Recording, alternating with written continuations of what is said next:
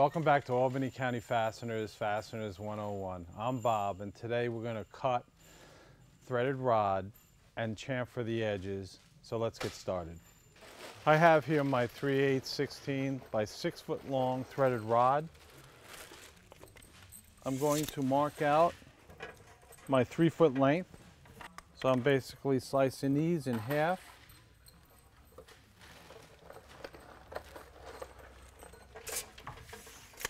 For a customer that has requested us to cut his rod, chamfer the edges, and that's what we'll do next after we cut the threaded rod. I have here a chop saw with uh, a stainless steel abrasive made for cutting stainless steel. I'm going to line up my marks with the blade. You should have safety glasses on so you don't get any any debris in your eyes or sparks. And I'm going to start now.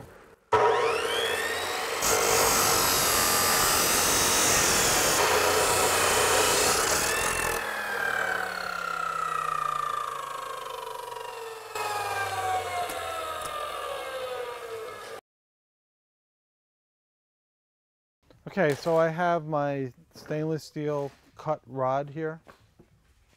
As you can see, the edge needs to be chamfered. I put a rag between the threaded rod and the vise, so this way we don't do any damage to the threads.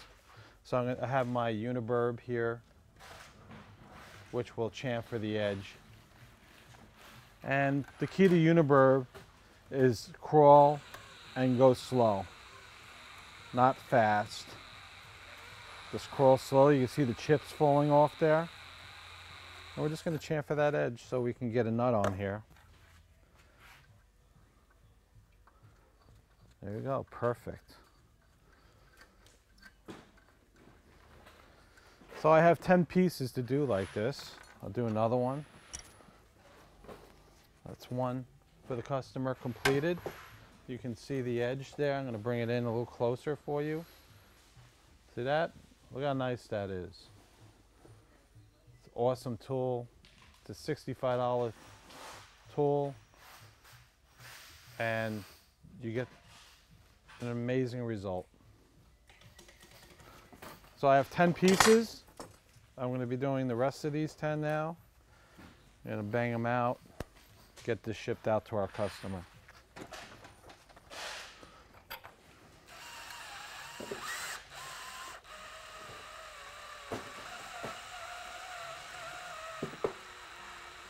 The slower I go, the better the result.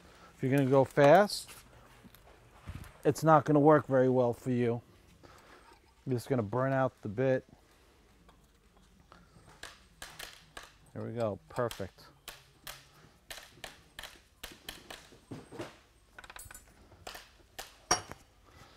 And you can see how fast I'm rolling along with this, how quick this is. This is not something that should take you long. You see there again, if I try to put this nut on, just not going to happen.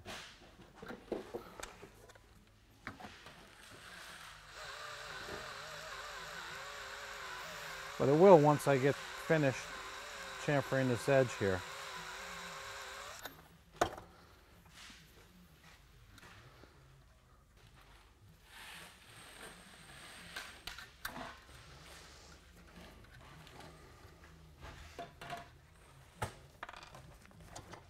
That's the second one. Always want to protect the threads so you don't damage the threads on the rest of the threaded rod. And as you're drilling, you want to keep your eyes on the, uh, the bit that you're running straight. And this particular one is giving me a little might have to persuade it a little bit here.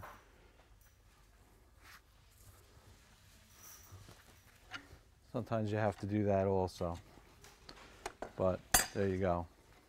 Just needed a little thread starting there, but now it's started, it's all fine.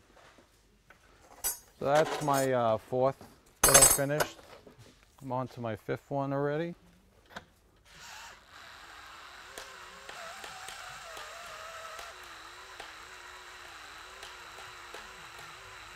You have to put steady pressure.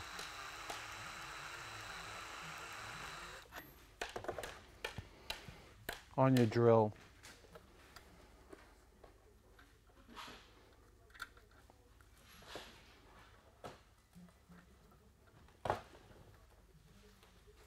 Okay, same thing's gonna happen with this one to give it a little start. There you go. Now, if you had to use a grinder or a file and file these things, it would take you all day to get 10 pieces done. Whereas it's taken me probably about five minutes each rod.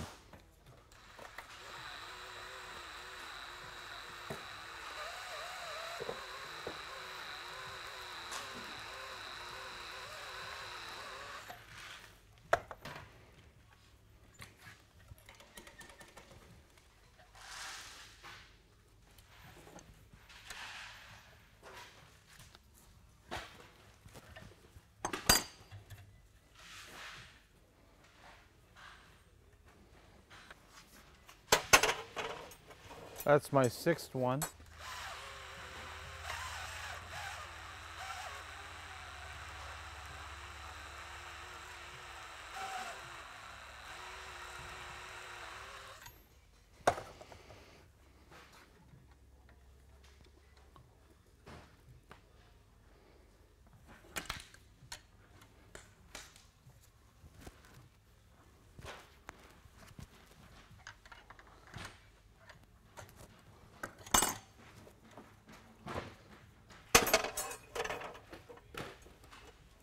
My seventh one.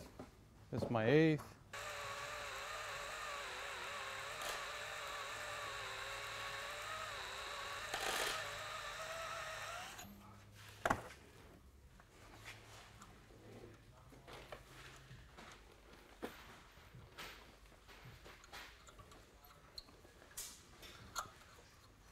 Some work great. Others need a little persuasion.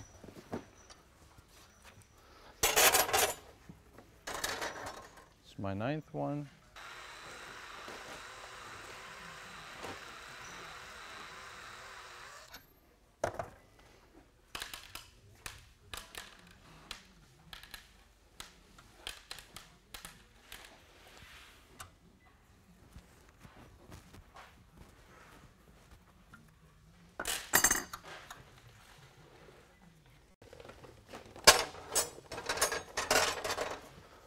And my final, 10th piece.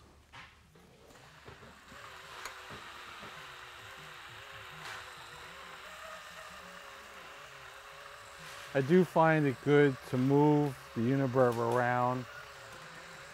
It does, instead of just holding it straight, over time I've learned that it just cuts the edges nicer. But when you finish, finish straight.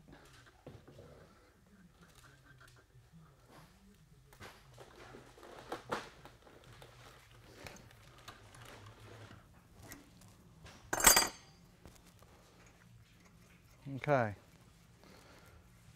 I think on the last, uh, this last threaded rod, it gave me a little problem, but I think I screwed the thread up in the nut. I finally got this done. Had to uh, retrim this particular one, but uh, all 10 pieces done. About 30 minutes, 35 minutes complete. Everything is uh, chamfered, cut it. We chamfered them for the customer. You can see there, beautiful, nice job. Customer will be happy with that. That's basically how you cut threaded rod and chamfer the edges so you can get a nut on. Thanks for watching. There you go. Subscribe, like, comment. Visit us at albanycountyfasteners.com for 50,000 SKUs right off the rack, ready to ship. We look forward to seeing you in our next video.